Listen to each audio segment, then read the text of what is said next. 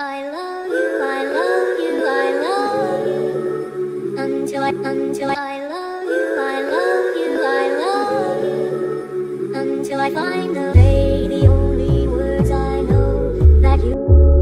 Until I, until So, for those of you that don't know, um, I have been training a client for about a month and a half now, and it's been a lot of fun. Um, we started about May 1st um, on a Sunday, I believe, and we've been training for about two to three days a week. So, um, I've had a lot of fun. Uh, the client has been really um, enjoying the workouts, and what I mean by that is that he has noticed it's helped his game grow to another level. So for me, that is very, um, makes me happy because it knows I'm doing my part right. Um, you know, with any situation um, I come into as um, my goal is what does the client need that I can help them strengthen their game, right? I do know a lot about the game of basketball, but it's not about me. I'm just the person that can help in any way possible of uh, for the client in order to help them grow in weaknesses, strengths, um, and especially areas that maybe they're not they don't know as well. So for example, like my client's been working on we've been working a lot about on closeout defense where you close out and then slide, shuffle to the right, to the left, back pedal, and then go back again um, to close out, and then same process with that. So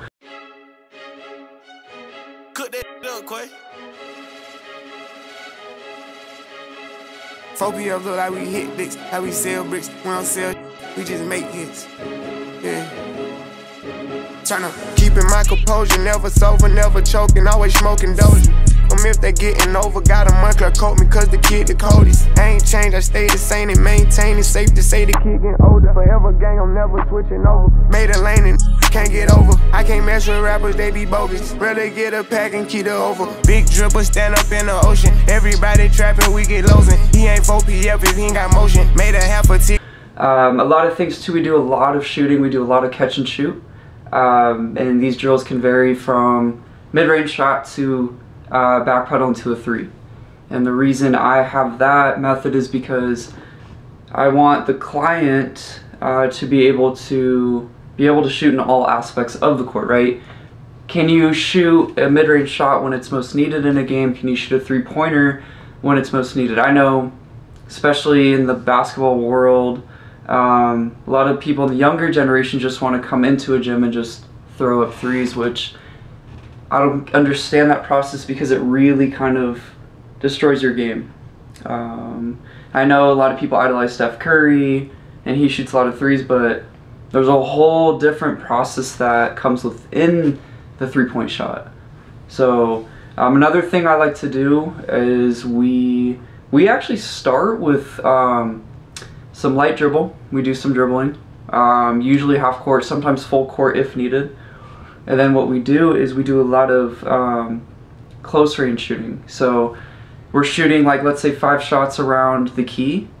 Um, so five on the first block, and then three, three, three up until the three point uh, or excuse me free throw line, and then we go back to five shots on the other side, and then three, three, three all the way to the other side of the free throw line. Um, and then from there, I have the client shoot uh, like literally right in front of the hoop. So um, because the reason I do that is because you want your shot warmed up with the mid range. So the closer you are, the better. Because what that does, it's going to warm up his shot, and then so when he does come time to shoot a mid range shot or a three, his shot's gonna be ready to go. So it's not a thing where um, it takes an adjustment. His shot's already ready to go. Why? Because we've done so many constant repetitions um, already in the mid range. So it's been fun. It's been a lot of fun. Um, and yeah, so from I've seen the growth. I've seen the growth from him ever since we started. Um, a lot of times we've been working on a lot of the footwork. So a lot of where's your feet placement when you catch the ball at a certain angle. If I'm catching the ball on off the side of the hoop, um, or excuse me, side of the baseline, where's your feet, your footwork on the left side versus the right side? It's different. Um, so he's he's been doing a really good job with that. Um, and we've been doing a lot of side uh, step backs. Sorry, um, step backs are really essential for a game because you can do so much with it. Um, I idolize Kobe. Kobe was really good at mastering the step back. Um, now a lot of guys in the league do that. Also, Steph Curry, Trae Young, um, a lot of point guards. So, but it's a great move, and I think it's super essential for uh, a lot of young hoopers that are really trying to elevate their game to the next level. So, um, yeah. So we've been doing a lot of that stuff. A lot of other essential stuff too, where uh, floaters. Floaters are really important. Can you make a floater if you're wide open, or can you make a floater where uh, you have a defender that's maybe taller? Can you shoot it over them? So yeah, that's really essential too. Um, uh, one thing I learned when I was learning how to play basketball at a high level is um, whenever we do conditioning, um, I always do, and like if my client is starting to get tired, I do two free throws after every drill. The reason I do that is because can you shoot when you're tired and can you shoot when you're not tired? It's two different things, two completely different things. I can go 100% from the free throw line if I'm not tired, like if I'm fresh, right? Can I go 100% from the free throw line? Can I go 10 for 10 when I'm fully gassed and exhausted and can barely lift my arms up? You can like it really well. Like it can go far. Hey, I'm telling you. I to like do the last like, two years until like stuff Yeah. I mean, I've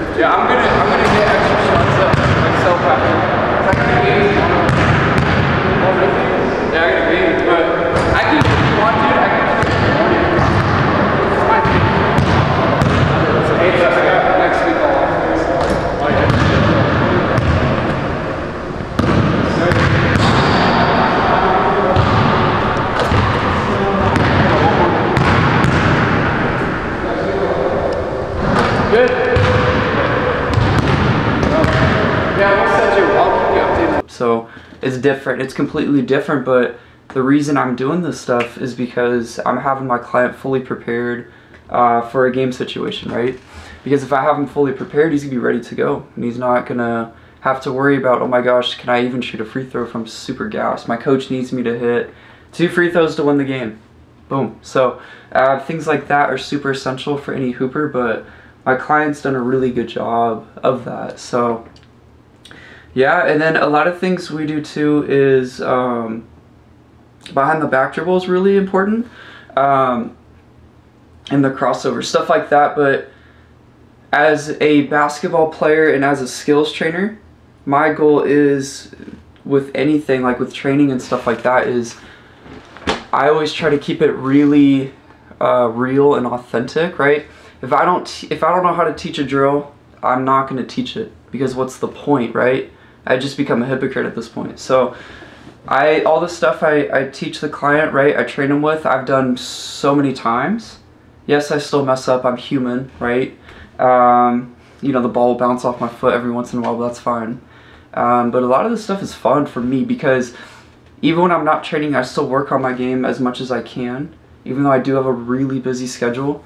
Um, but I'm also like trying to work out to lift weights, run, all that stuff that's gonna help me elevate my game as a trainer uh, in order to where I want to be in the next few years. So, but I've had a lot of fun. I think that's the best part of this. I put no pressure on myself. Um, and it's just been super, super fun. So I've had a blast. And I feel like in the early stages with that, you're in the early stages with it where you can have a lot of fun. You don't have to Yeah. worry too, too much about the business side, the profit side. You're in the side where, okay, you're figuring out, okay, what kinds of things you want to teach your clients. And also, I got to ask, with working with new clients, such as your current client right Yeah. now, when you first work with new people, are you instantly like, all right, let's try these things and see how you perform them, and then we'll figure out what I want to teach you in? Or did they already tell you, like, I want to work on this and fix this? Like, how does that kind of go down? That's a good question. It's kind of both, and the reason I say both is because I ask the client like, "What is it that you want me to help you with?" It's a your session. It's not about me, right? And it's funny I say that because yes, I may be a skills basketball skills trainer, but it's about the client, and I think a lot of trainers don't get that. I think what I've noticed, I, I'm very um, observant through social media and YouTube and all that stuff. A lot of basketball trainers, such as um, like a lot of even the, I feel like a lot of the NBA trainers, they do it for attention. They do it for clout because they're just trying to get that recognition and validation out there, especially on Instagram. For me, it's how can I help you? So, for example, going back to your original question, my client I remember was like, I want to work a lot on my shot, right? A lot of form shooting, a lot of uh, in-game shots, a lot of catch and shoot, a lot of dribble pull-ups. So.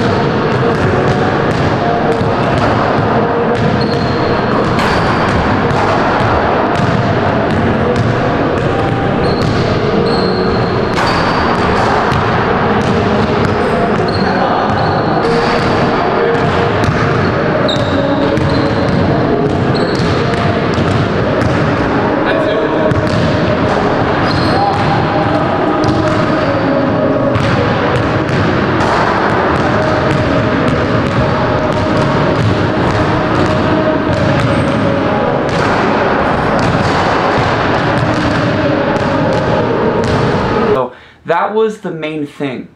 And I've noticed his shot has become better and better each time. Um, another one too was like he he'll ask me like, well, what do you recommend? What do you want to do? I said, well, I think we can work on crossover, step back. I think we can work on defense. So each day, I think that's what makes it fun for me. Is I don't have to look up certain stuff. Is I can just come up with stuff right on the fly. And because the reason I know that is because I've played since I was four, so I've known I've been around the game like my whole life, and I watch it for fun. So, um, Yeah. And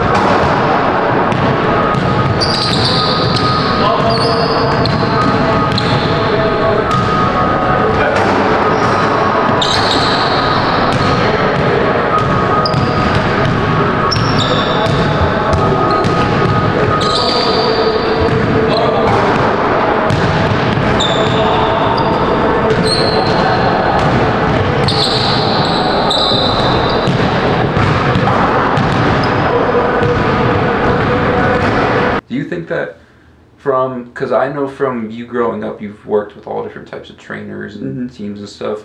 Do you feel like they focus more on like I don't know routines rather than focusing focusing on things that the individual should work on?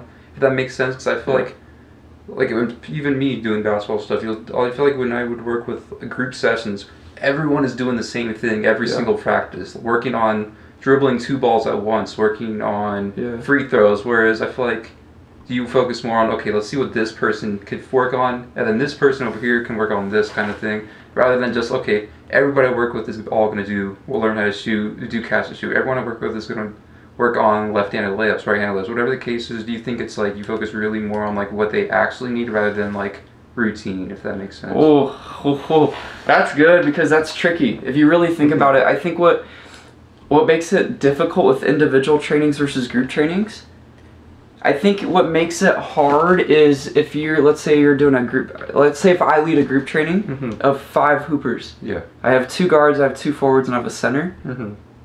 It's gonna be different. I'm not gonna focus on a step back for a center Mm-hmm. because the point is it's like that's not going to help them if i have let's say a client that's seven foot two and you know they're just trying to learn how to do let's say a post hook shot i'm not going to have my point guard do that why because my point guard doesn't need to focus on that Mhm. especially if he's a lot shorter Mm-hmm.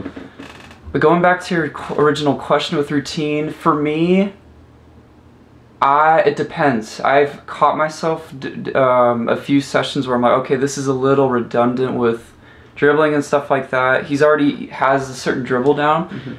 Maybe I should pay attention to focusing on a different dribble routine. You know, maybe the client I can help strengthen their left hand. Maybe their left hand dribble's a little bit um, needs a little bit of improvement or strength compared to the right hand. But to answer your question again, I do stick to a routine. The shooting stays consistent. And the reason I say that is because you always have to start with the form shooting. Mm-hmm. Form shooting is super essential. Um, and that's just like I, I mentioned earlier, where it's the, the close range shooting, right? I'm not going to have the client come in and just shoot a half court shot. Why? Because it's pointless. It's pointless. It's not going to help them. Form shooting, like uh, again I mentioned, it's super essential. Um, but the main goal of like my the routine is, will it help transfer to a game situation, right? Um, I'm not gonna do. I don't like cones. I don't like using cones at all. Why? Because you're not gonna see a cone in a game. You know. Um, I always make sure everything is pure and authentic. Um, a lot of times I've seen it's crazy too because I see a lot of times people do stuff where they wear like the goggles on their eyes to try to make you become a better dribbler and it's like why? You're not wearing that in a game you know? But i don't know. Each each basketball skills trainer has different theories and ideas but for me i just keep it real because the stuff i help uh, teach the client will help him in a game situation. And the only thing is we just got to be consistent. That's the only thing that's different. Consistency is key but if you're consistent putting in the work great things will come. Great things will come i guarantee it so. And do you think practicing, because you mentioned game situations, do you think doing like, I guess in a practice, kind of like a scrimmage kind of thing? Because I know you've probably done that and growing up. You think doing scrimmage stuff will like definitely help implement those game situation drills instead of doing just game situation? Absolutely, because I've witnessed it. Okay. Um, I have another brother where they played one on one recently, actually last weekend, um, and my client did really well. And I noticed that he was implementing all the drills that we've worked on together. So I've noticed it's working. I've noticed it's working, but um, I've encouraged the client to play pickup just because I wanted to see how all of the drills that we've done, how it transfers over. maybe the drills that we've worked on, uh, maybe they're not working, and that's something I need to take note of. Why? Because I need to kind of maybe go in a different direction um, as to where it's going to help benefit the client. So I'm still learning too. I mean, technically, uh, this is like my second summer doing this, but uh, I'm still learning. But it's been a blast for sure. And how would you say with this current client, like, could, uh, could you give some things that he has improved on that you've noticed Yeah. since the very beginning, the first training session, and some things that you know, obviously, like they're probably not polished, but things that are like, okay, it's looking good, but we're still kind of working on that. Do you have some things you could say on that? Absolutely. His step back dribble's been very, very good. When the first two sessions that we started training, he didn't really know how to do a step back. Uh, it was more of like very, is an awkward movement for him. Um, and he's really improved in that. Um, he's his. I think his shot in general has improved like crazy. I've told him this every time. Is like his jumper looks really good, and I'm talking about every certain spots of the floor. Obviously, there's gonna be missed shots, right? We're not perfect. We're human. We're not in the NBA, right? But just to see growth on a day by day basis or each training session with his jumper and step back for sure. That's just it makes me happy because why it shows that okay, the you know yes he's doing good, but it's extra motivation for me because how can I help keep it rising, rising, rising his jumper, jump shot, and even his step back. But um, and then I think from from areas of growth for me, I still would say just the behind the back dribble. Uh, usually in a behind the back dribble, you want to get the ball and just sit. You literally just kind of like you're sitting in a chair, but you also want to get the ball and be able to move to a different direction. Um, but other than that, he's doing a really good job.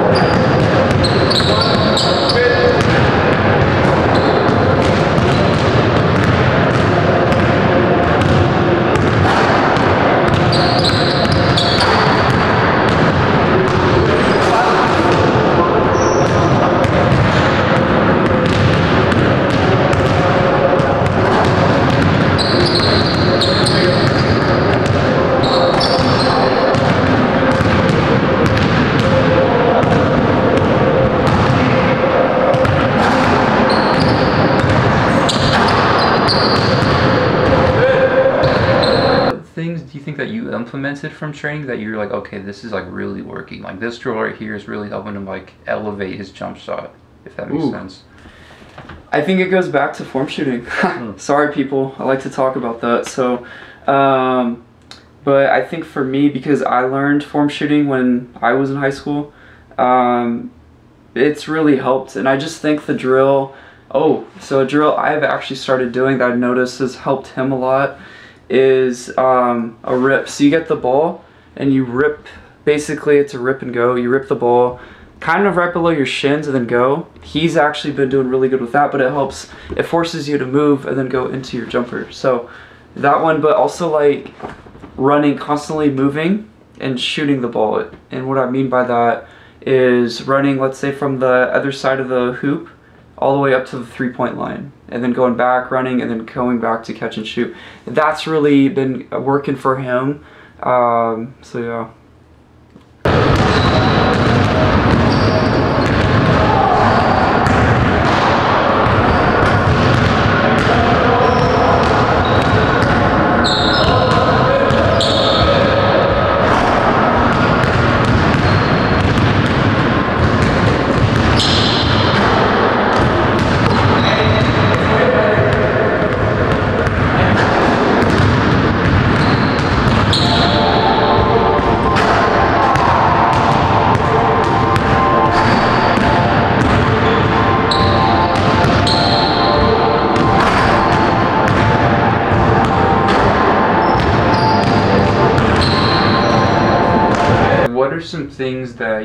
and your client are looking to work on going into the month of July in terms of training and progress within training? I think just being consistent is the big thing. Um, and the other one is making sure that the client is comfortable with any, just everything, just dribble movements, right? So that he can use it in a game. Making sure his shot is consistent. Uh, making the shots that he needs to make in a game situation. Making sure that um, they know what to do on a defense, on the defense side of basketball. Uh, making sure that they're know where they need to be, right? Even with uh, off the ball defense, on ball defense, stuff like that. Um, and then, yeah, and I think for me, that's like the big things we're gonna be focusing on for the next month, and and you'll all see that in the next episode of the docu series. But I've had fun. You know, I've mentioned before. I've been around the game of basketball my whole life. I used to be a head coach uh, when I was a high. Was when I was in high school. Um, so being a basketball skills trainer has been very humbling for me. Um, it's been very fun, but I'm not a finished product. Um, at the end of the day, I'm still learning myself of how I can grow um, and still become an even better basketball skills trainer. So, um, why? Because it's my passion. Even if there was no social media, if there was no cameras around, I still would be doing this. Uh, simply just because I love it so much.